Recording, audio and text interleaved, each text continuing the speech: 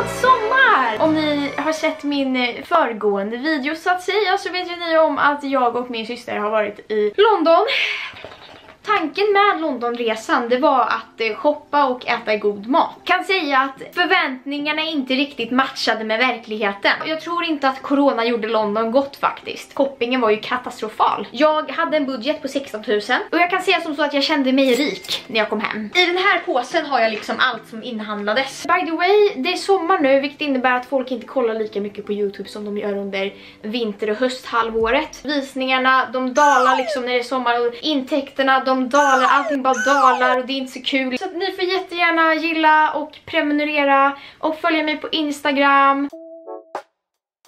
Det här kommer jag inte visa på för det här är skittråkigt. Det här är en svart tisha från Primark. Jättekul. Mm. Linne från Hollister. Alltså jag har verkligen varit i behov av vita toppar. Alla mina underdelar är antingen mönstrade eller färgade och det är jättesvårt att matcha det. Då behöver man liksom ha simpla överdelar. Så jag har varit på jakt efter vita toppar men inte hittat. Så här sitter den på. Jag tycker den är jättegullig. Den här, en så här halter neck som är lite poppis just nu. Och den här tycker jag är supersöt. Det är massa blommor på. Kolla vad gullig den här är. Vad köpte jag mer inne på Hollister? Den här. Och den här ser ju inte mycket ut för världen när man tittar på den så här. Den fanns i flera färger och jag ångrar typ att jag inte köpte den i fler färger. Men den är i så här linnetyg nästan.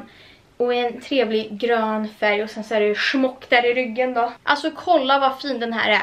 Och alltså just det, ni ser säkert att jag är riven här. Det är ju från kaninerna. Inne på Monkey så köpte jag den här tygpåsen. Alltså jag vet att vissa plaggen jag kommer visa finns liksom på hemsidor, alltså går att beställa. Till det som går att hitta online kan jag ju länka till nere i beskrivningen. Men jag köpte i alla fall den här. Det här är tygpåse fast samtidigt lite så här väsk stil. Blommor. Också från Monkey så blev det ett par brallor. De här var faktiskt på rea. Tygbyxor och sen så är det blommor på. Och de här måste min mamma hjälpa mig att lägga upp för de är på tok för långa. Så här ser de ut.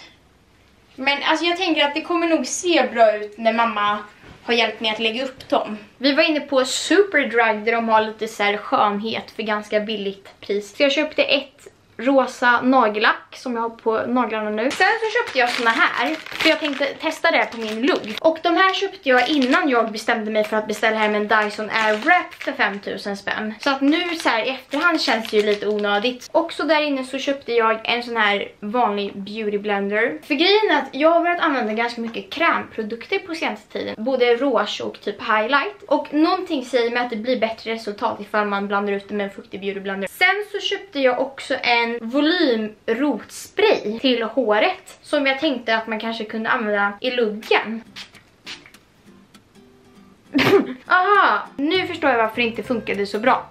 Man ska tydligen använda den här i fuktigt hår och sen ska man föna in det. Jag köpte även en deodorant. Jag har ju då en mansdeo i så här vanligt deo-stick. För att grejen är att mansdeodoranter är så mycket bättre än de för kvinnor. Och att man ens könar produkter på det sättet är lite sjukt när man tänker efter. Alltså vad då mansdeo? Men så såg jag en tjej på TikTok som tipsade om att man först skulle ta en sån deo-stick för män och sen ovan det ha liksom en för kvinnor. Så jag blev lite sugen på att testa det och därför så var jag då tvungen att köpa en deo bio som det står kvinna på. Men jag tycker fortfarande att det är sjukt patetiskt med könade produkter. Samma med typ rakhyvlar. Att det på riktigt görs rakhyvlar för kvinnor och män. Nu känner jag att jag spånar iväg lite grann. Det sista jag köpte inne på Superdrug, det var en Cheeky Blush Shot från Revolution. Alltså det är något rouge. Så det var liksom den skönheten jag shoppade. Ska vi gå vidare till Berska?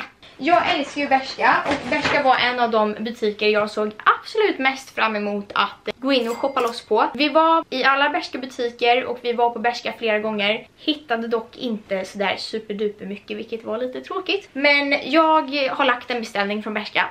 Snart får jag hem fler grejer från Berska. Alltså de har mycket bättre utbud på deras hemsida. De här köpte jag i alla fall. Ett par kostymbyxor. Svarta. Så är det en söm. Tajta vid låren och så går de ut här ner till och så är det en slitt. De här är precis som alla andra byxor för långa på mig så att min mamma kommer behöva hjälpa mig att lägga upp de här också. Så här ser de ut.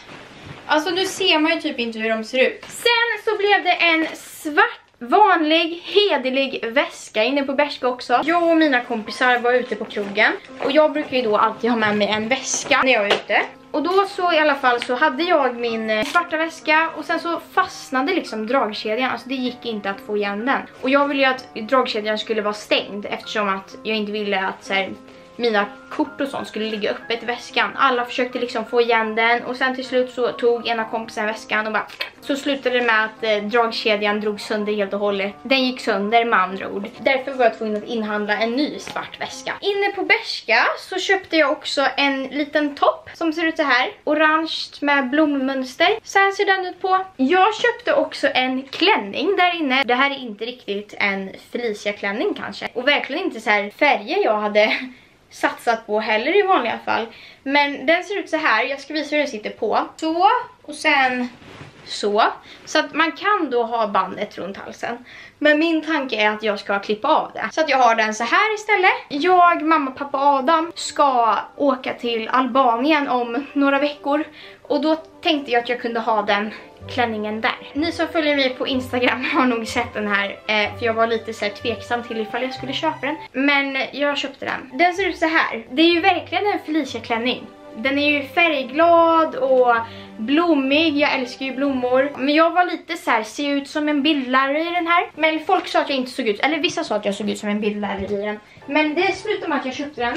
Den här klänningen har verkligen jättefin passform, alltså den sitter bra upp till och bra ner till, bra längd. De här.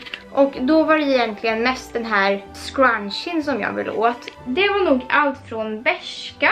Två grejer inne på Stradivarius. Dels den här och den här ser ju inte jättemunter ut. Vit linnetopp. Det jag tyckte var lite jobbigt för det har ju blivit väldigt så här, inne just nu med typ så här korsett-liknande toppar eller toppar där det är liksom insydda kupor. Och då gäller det ju liksom att man har rätt storlek på brösten för att det ska se bra ut. Eftersom att jag är ganska liten liksom kroppslig behöver jag ha XS i toppar. Men jag har större bröst än XS. Det såg jättekonstigt ut när jag testade sådana toppar. Och det gjorde mig jätteledsen för att det fanns typ bara sådana toppar liksom. Men jag kunde verkligen inte rocka det överhuvudtaget. Här ser ni i alla fall hur det här linnet ser ut. Banden är lite långa så att jag behöver korta ner dem lite grann. Och sen så köpte jag även den här. Och det här är ju mer liksom en underklädestopp. Inne på Primark så köpte jag den här tröjan. Det är Nalle Puh och så står det Weeds are flowers too once you get to know them. Och den ser då ut så här på. Superskön tröja att bara gå runt och chilla i och den är jättemjuk på insidan. Sen köpte jag även lite så här sov-t-shirtar inne på Primark. För jag gillar att sova i kläder liksom. Så jag köpte den här. Det står Happy Day. Det var lite kul. Det har blivit som ett internt skämt i familjen. Och sen så köpte jag också en sovtröja med Stitch på.